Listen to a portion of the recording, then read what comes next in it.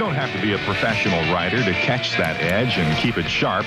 Neighborhood parks are breeding grounds where potential champs practice their moves and expand the sport.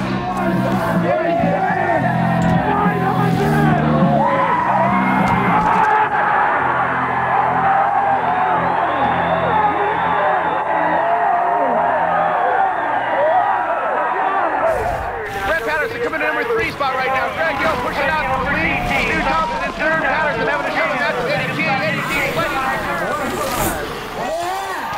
good, strong start. Just using the other ramp for turnaround. The approach. Another high air. Scott, this is going to be exciting. Mike is known for his high air and his variations. Combine the variations with that kind of height, and you've got some excitement. Let's watch.